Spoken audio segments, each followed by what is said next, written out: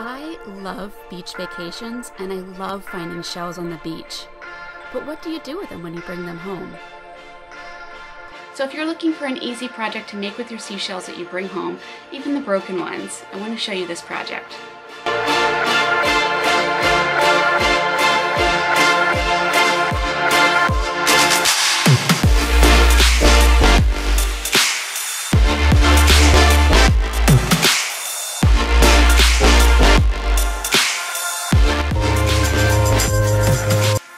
Hi Rosy Buds, Shannon here. You guys may have recently saw our travel vacation vlog that I did, the first one I ever did, um, and I took you guys to Sanibel with us. And I love Sanibel Island. It is such a relaxing and peaceful place, but one of the best parts about Sanibel is all of the seashells on the beach. It's amazing how many seashells are on that beach. Go back and watch that video if you want to see more about the island, but guys, free craft supplies alert free craft supplies. We walked the beach a lot on our trip and we got to pick up a bunch of seashells.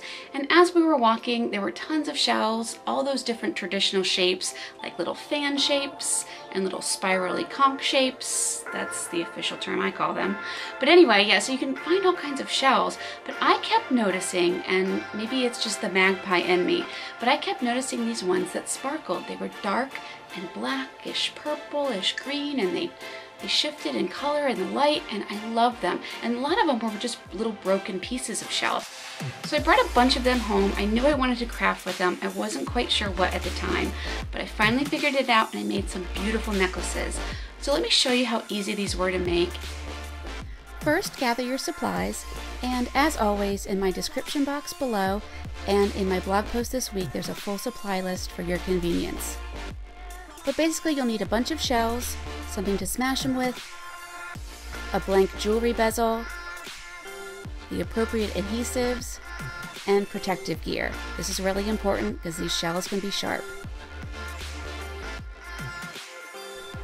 After you protect yourself and your tabletop, get out that hammer and smash those shells apart.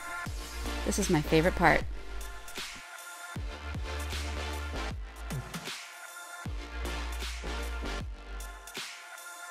Once you have enough small pieces, glue them down to the bottom of your jewelry pendant. Try to keep the pieces flat. You don't want any pieces poking up because it'll be difficult to cover and that could be very sharp and poke you later, which you don't want. I used Mod Podge, but any glue that dries clear is perfect for this step. Once that glue dries, this is my second favorite part grab some kind of resin, or I like to use Mod Podge Dimensional Magic.